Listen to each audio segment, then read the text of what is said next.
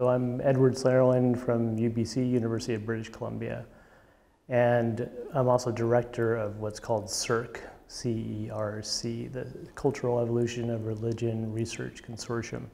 This is basically a collection of partner institutions that are working on this uh, certain hypotheses about the cultural evolution of religion. And this is a result of a grant we got from the Canadian government as part of a new program called the Partnership Grant Program. So the idea is uh, to attack large problems that one university can't do alone by getting a consortium of universities around the world together, a lot of interdisciplinary expertise. So it's centered, our network centered at UBC, uh, UBC and SFU. Then we have two senior partners, so Aarhus University in Denmark and Oxford University.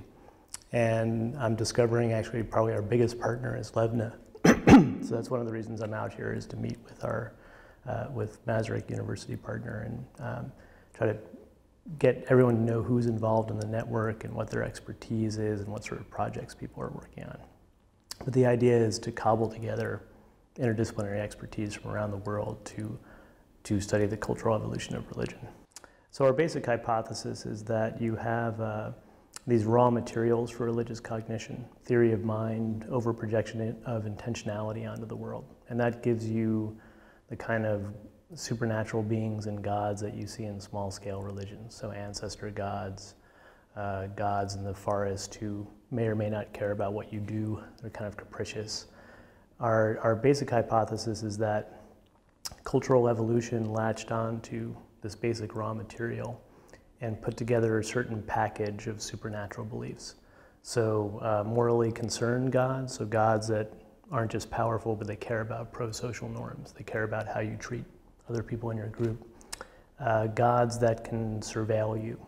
So they, they see what you do. In some cases, they can see not just what you do, but what you think and feel. So they can actually see your motivations and not just your, your behavior.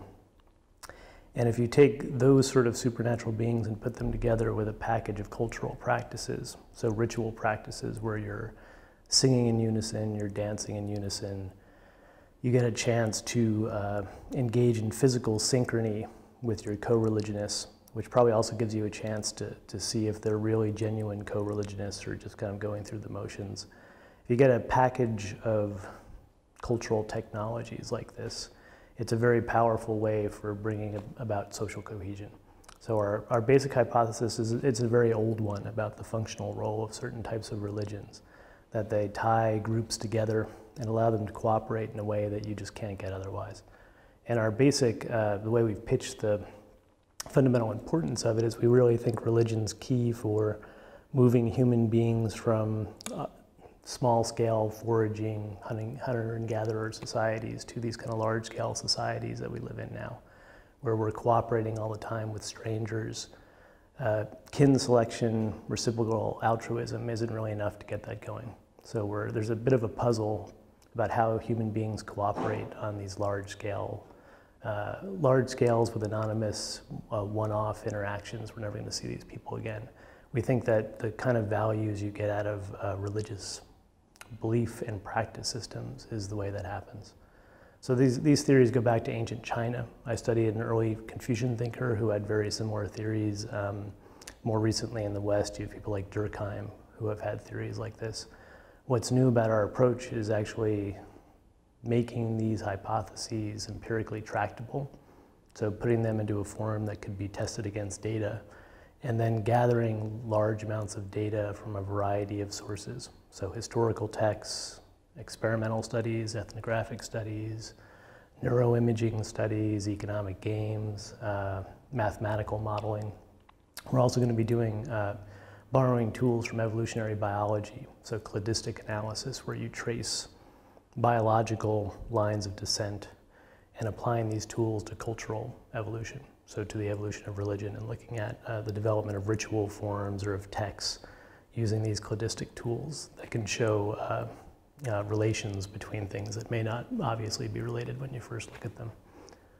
So this is the, the new thing we're doing. We're taking old theories and testing them in very new ways and in ways that are very interdisciplinary. So bringing historians together with biologists, together with mathematicians and neuroscientists So that's the new, the new aspect of the approach. There's a couple different projects I could talk about. So when it comes to theory of mind, so this idea we have about theory of mind as a raw material for religious cognition, there's been a lot of contemporary work on theory of mind. So experimental work looking at uh, theory of mind and how it's related to people's praying when they're praying to, let's say, the Christian God, as opposed in a personal way, as opposed to uh, doing it in a, uh, reciting a, a, prayer that's more formulaic. So this is work that Uffe Schjødt at Aarhus has done. Uh, one of the new ways we want to look at this is, is actually draw on what uh, Luther Martin has called data from dead minds. So psychologists, people, most people who work on cognitive science of religion have been studying contemporary subjects because that's what psychologists do. They're mostly coming out of psychology and anthropology. So they're working with living subjects. What we're hoping to do with the historical component of our team is actually uh, open up all this data from texts and archaeology that has not been explored in the cognitive science of religion quite as much. And that's partly for disciplinary reasons. So anthropologists and psychologists just don't know how to deal with texts. They don't really uh, understand what you can get out of texts, I think.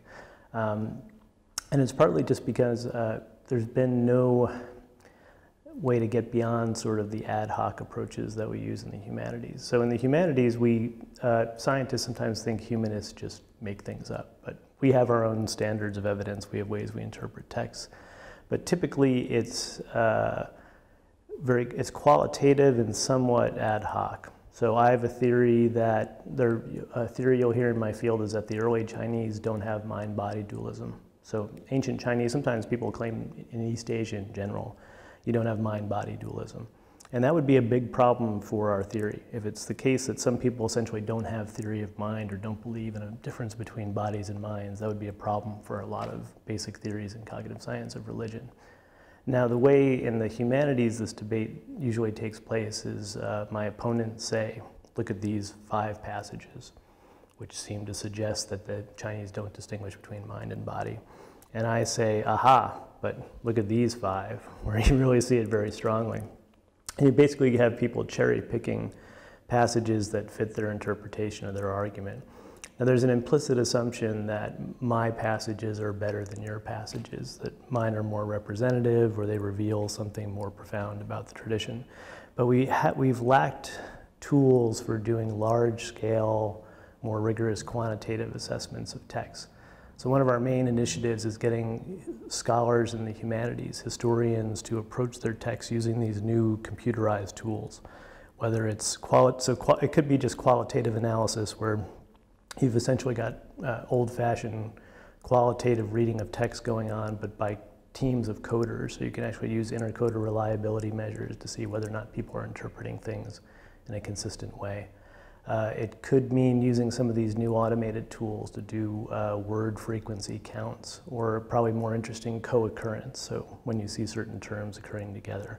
There's also increasingly sophisticated tools for doing semantic analysis, so you can actually go through large amounts of text uh, in an automated way and get some sense of the semantic content of the text.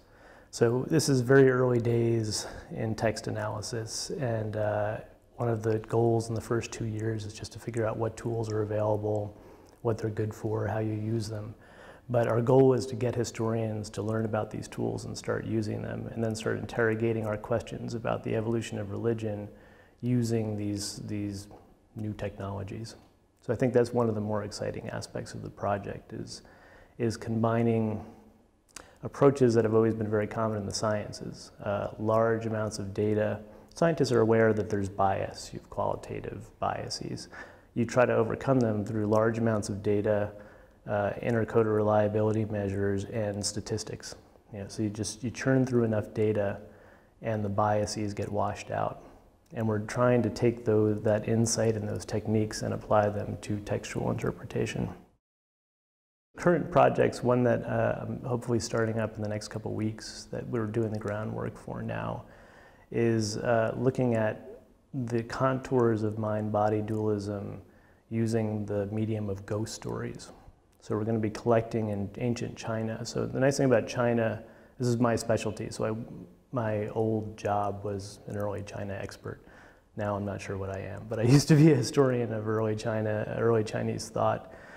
Uh, China is great because we have this continuous written record from very early times down to contemporary times that's essentially the same language. It's all written in classical Chinese, and it's a fairly continuous record. So what we're going to do is go through the entire historical record, sampling from different centuries. This is what we're, my RAs are working on right now, and assembling a collection of ghost stories. So uh, people, ghosts appearing in dreams, ghosts appearing in real life, and having coders talk about what are the qualities of these ghosts. Can they see things? Can they hear things? And it's adapting techniques used by anthropologists like Emma Cohen with contemporary subjects, but now using it to apply to historical texts. So we can get, and what we're going to see, I think, is a kind of contour of mind-body dualism. Ghosts can still know things, they can still hear and see things, but they don't get hungry. They don't have to go to the bathroom. They, there are certain things that they, qualities they don't have that probably they don't have because people feel like those adhere to the body. They don't go with you when you die.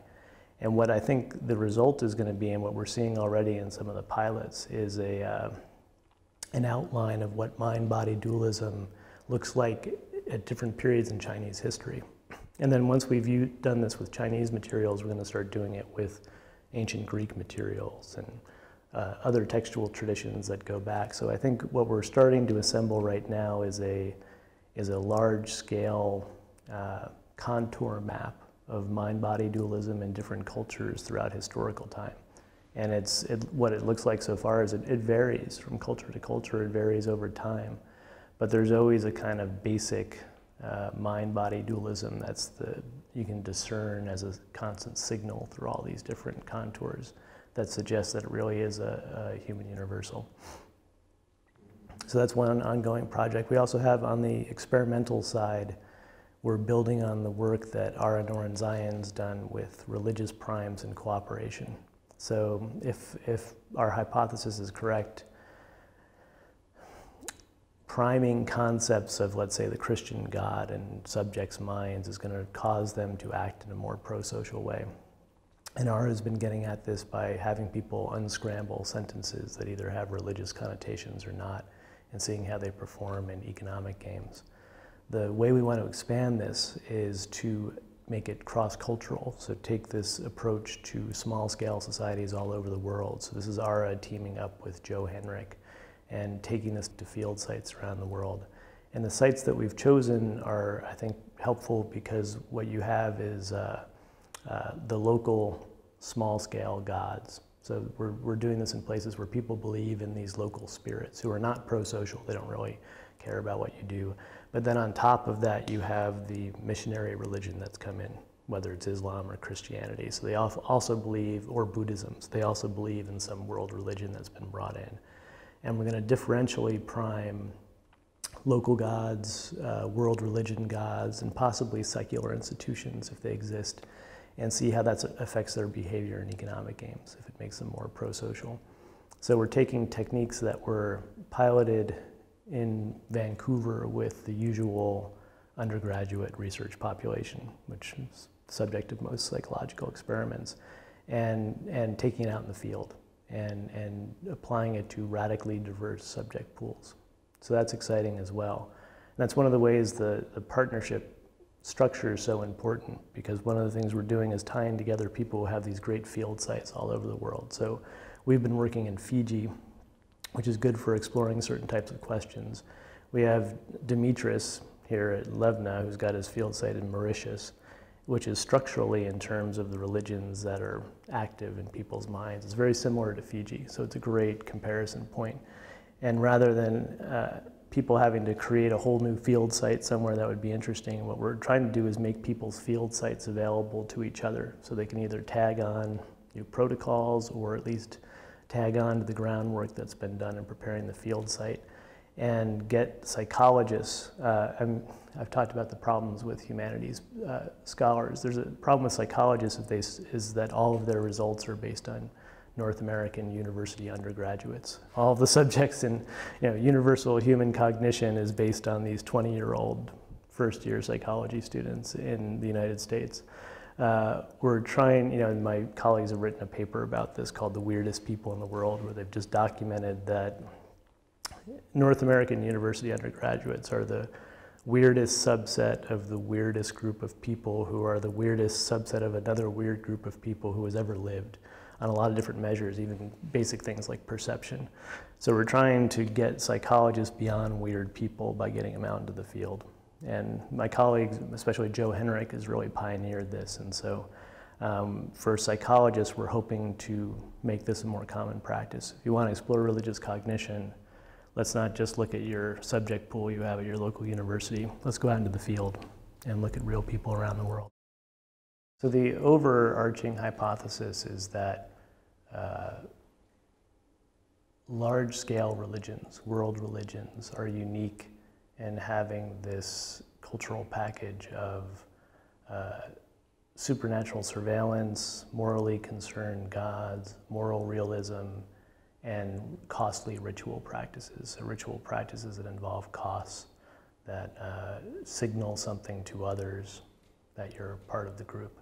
Our basic hypothesis is that people who are either members of these types of religions or possibly even primed with these types of ideas will behave in a more pro-social way. That's the basic hypothesis, both in contemporary populations and that we'll find this in the historical record, that when you have religions like this arising, this is going to co-occur with larger and larger uh, societies. So you get larger, more cohesive societies when you have these sorts of ideas. Uh, there's all sorts of sub-hypotheses that come out of this, uh, one of which has to do with, let's say, the raw materials. So uh, we're going to hypothesize that some sort of mind-body dualism and theory of mind is a human cognitive universal. You find it throughout uh, human populations as far back as we have records, and that it's this theory of mind that's undergirding basic religious perception. So it's theory of mind that allows people to think of gods and think about supernatural beings. Um, another sub-hypothesis is uh, there's going to be a distinction between, let's say, two different types of values. So the philosopher Charles Taylor has talked about what he calls strong versus weak evaluations. Uh, weak evaluation is, I prefer chocolate ice cream to vanilla ice cream. There's nothing, it's an opinion. I don't get angry if you disagree with me. I don't feel a need to make you eat the type of ice cream that I like. It's just an opinion. Another type of evaluation we make is what he calls a strong evaluation. I think that child slavery is wrong. And this is psychologically distinct in the sense that I think I get angry if you don't agree with me.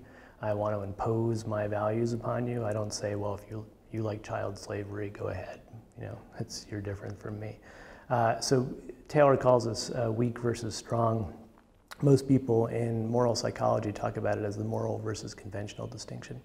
So we have conventional judgments about what it's okay to wear, how it's okay to act at a dinner party, but we don't moralize them. We don't have punitive sentiments. Uh, and crucially, and this is the part that links up with our hypotheses, we don't think that our, our conventional judgments tell us anything real about the world. So I don't think, I realize that uh, certain style of jeans that I wore in the 1970s in the United States look silly. But I don't think that that actually reveals the structure of the universe. I realize it's just a sort of fashion trend. When we talk about slavery being wrong, we don't think about this as some sort of cultural belief we happen to have. We think of it as something we've discovered, a truth about the universe we've discovered. So one of our hypotheses is that uh, the pro-social bonding that you get from religions is because they ground a certain class of beliefs that we can call strong evaluations or moral beliefs. So uh, one of the things we want to look at is if it's actually the case that you find this distinction throughout cultures around the world, if you do, we want to see if it's actually the case that the distinctive feature of this class of judgments we call moral is that at some level they're connected to metaphysical beliefs. Now, in most traditional religions, it's very explicit. So God said you can't do this. God said this is wrong. Um, as part of the law of karma, you have very explicit supernatural grounding. Uh, one of the more maybe controversial aspects of, of our, this hypothesis, uh, again, this is grounded in Charles Taylor's work, is that modern secular, quote unquote, secular societies seem to have gotten past this. So there's this idea that now we ground our moral judgments in just the facts, just in rationality and a clear eyed view of the world. Um, Taylor argues that that's really deceptive. And actually, if you look, if you poke moral beliefs, even in, in secular philosophers, you find metaphysical beliefs uh, hovering around back there. So, why is slavery wrong or why is child slavery wrong? Well, because people have dignity, people have human rights. That's not a, it's not a scientific discovery, it's not a fact about the world, it's actually a belief. You can't uh, x ray someone and show their human rights. And Taylor does a great job of tracing the origin of these beliefs in Christianity. So the proximate cause of it is, is the Christian tradition, where the theological language gets stripped out. But Taylor's claim, and it's a strong one, is that no one can escape living in a set of moral beliefs like this, and that they're always going to be grounded in metaphysical beliefs, which would mean that, in a sense, people cannot not be religious at some level if you expand religion to include these kind of very diffuse beliefs in things like human rights and human dignity. So one of the things we want to explore is whether or not it is the case that there's this unique class of claims that are grounded in metaphysical beliefs. Um, and if that's true, whether or not there, things like human entities like human rights are functionally identical to beliefs in things like God's will or the law of karma.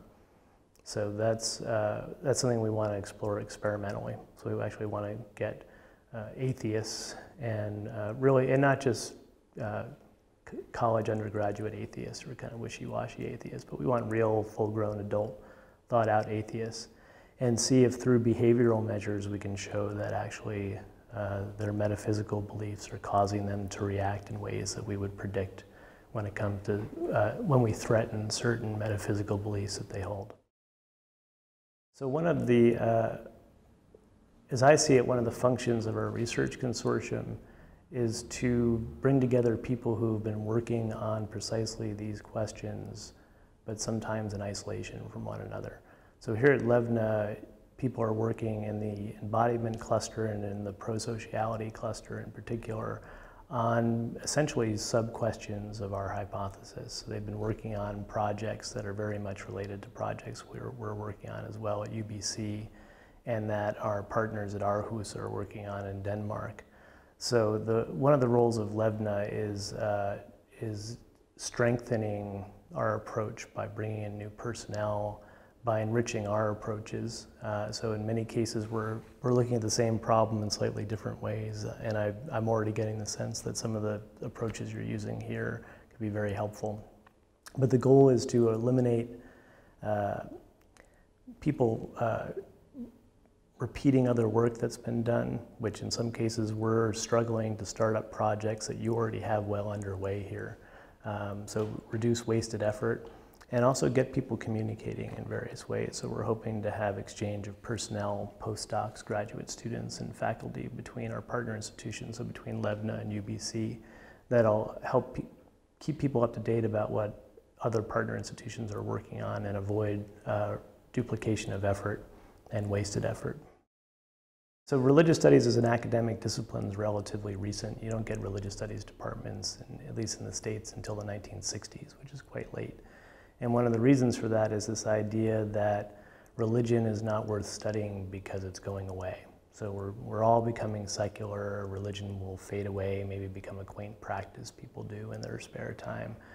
And this attitude informs policymaking. So uh, politicians act as if people around the world are motivated by uh, basic type of secular motivations. And if you see people using religious language, it's actually a smokescreen for other motives. So uh, people, there's, a, there's a kind of blind spot when it comes to genuine relig religious motivation. So one of our collaborators on the grant is Scott Atran, who's been arguing for a long time that you can't understand Middle Eastern politics unless you see that people are being motivated by what he calls sacred values, but they're essentially values that are grounded in deeply held religious beliefs that are qualitatively distinct from other types of values. And that's crucial because the important thing about a sacred value is it can't be weighed against other values. You can't buy it away, you can't trade it away.